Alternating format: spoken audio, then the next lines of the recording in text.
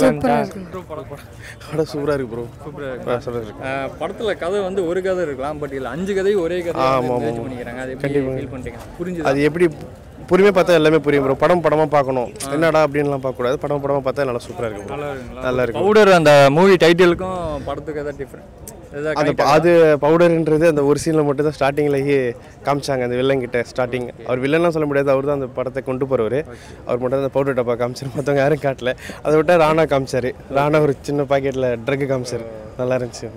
நல்லா இந்த காமெடிலாம் ஒர்க் அவுட் ஆயிருக்கு? காமெடி சூப்பராக ஒர்க் ஆகிட்டு இருக்கும் உண்மையுமே சொல்ல போனால் வையபுரி சாரி காமெடி தான் பார்த்தோம். ஒரு சென்டிமெண்ட் அப்பாவை சூப்பராக பார்த்துருக்கோங்க அதில்.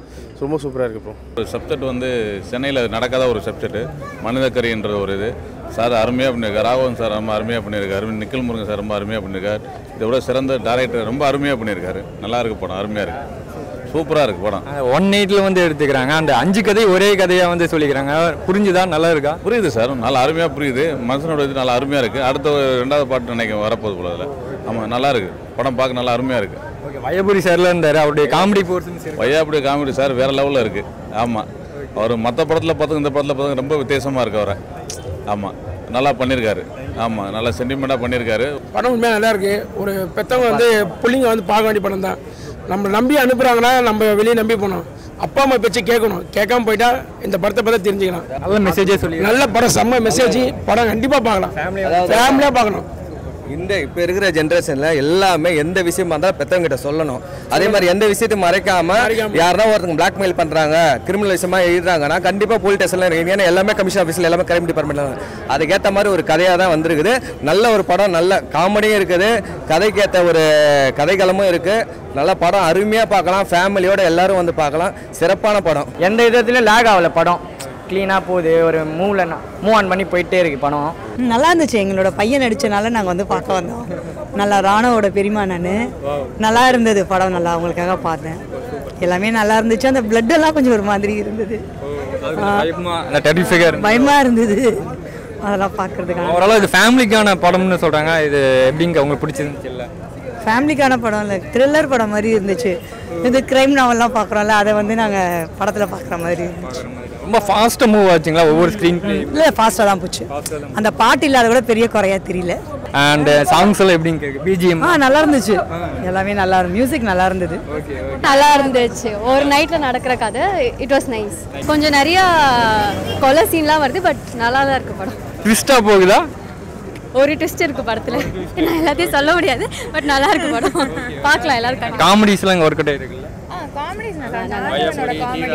ஆ அவங்களதெல்லாம் நல்லா இருந்துச்சு. ஓவராலாக படம் பார்க்கலாமா? பார்க்கலாம் கண்டிப்பாக பார்க்கலாம். சார் எங்கள் ரிவ்யூ கேட்டாலுமே நிக்கில் சாரோட ஆக்டிங் சூப்பர் நிக்கில் சாரோட ஆக்டிங் சூப்பர்லேருந்தே வந்து தொடங்குறாங்க. ஸோ அதை பற்றி உங்களுடைய கருத்து என்ன?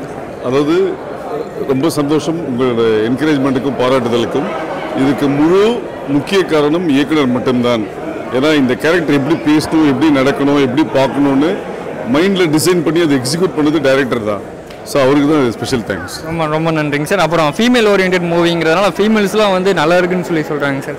அண்ட் என்ன சொல்லுங்க சார்? இப்படி ஃபீமேல் ஓரியன்டாக மூவி பண்ணணும்னு சொல்லிட்டு டேரக்டர் நடிச்சிருக்காரு. ஸோ இந்த படத்தில் நானும் ஒரு ஆக்டராக நடிச்சிருக்கிறோம் அப்படின்னு சொல்லிட்டு உங்களுடைய இல்லை ரொம்ப சந்தோஷமாக இருக்குது இது ஃபீமேல் ஓரியன்ட்ன்ற போது பெண்களுக்கு தேவையானது மெசேஜ் அதாவது நீங்கள் வீட்டில் இருந்து வெளியில் நிறைய பேர் கூட பழகும்போது வீடை பற்றி டிஸ்கஸ் பண்ணுறீங்க அது மாதிரி நீங்கள் யார் கூட பழகுறீங்கன்றது நீங்கள் வீட்டில் டிஸ்கஸ் பண்ணுன்ற ஒரு கருத்தை வந்து சொல்லியிருக்கோம். அது மாதிரி வித்யா பிரதீப் கேரக்டர் சொல்லுவாங்க. ஒருத்தர் பழகும் போது அவர் க நல்லவரா இல்லையன்றது பார்த்து ஜாகிரதையாக பழகணும். ஒரு பொண்ணை காப்பாற்ற எந்த ஹீரோவும் வரமாட்டான். நீங்களே காப்பாற்றிக்கணும் அப்படின்ற ஒரு அழுத்தமான கருத்தை இந்த படம் முன் வச்சிருக்கு.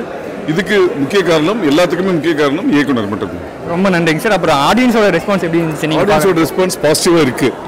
ஸோ இந்த பாசிட்டிவ்னஸ் தொடரும்னு நாங்கள் எதிர்பார்க்குறோம். ரொம்ப ரொம்ப நன்றிங்க சார். உங்க- உங்களுடைய மேலும் மேலும் நீங்களும் வளரணும் அப்படின்னு சொல்லிட்டு எங்கள் பீப்புள் டாக்ஸ் சினிமா சார்பாக நாங்கள் தெரிவிச்சுக்கிறோம். ரொம்ப sir support by people stop sir படம் நடிச்சிருக்கிறீங்க அண்ட் ஓவராலாக அவுட்புட் பார்க்குறப்ப எப்படிங்க சார் ஃபீல் பண்ணுறீங்க நான் இப்போ தான் எல்லாரும் முதல்ல பார்த்துட்டாங்க. நான் இப்போ தான் ஃபஸ்ட் டைம் ஆடியன்ஸோட உட்காந்து பார்க்கணுங்கிறதுக்காக ரொம்ப அருமையாக இருக்குது இது எனக்கு ஒரு புது எக்ஸ்பீரியன்ஸு இப்படி ஒரு கேரக்டர் இது வரைக்கும் என் லைஃப்பில் பண்ணதில்லை.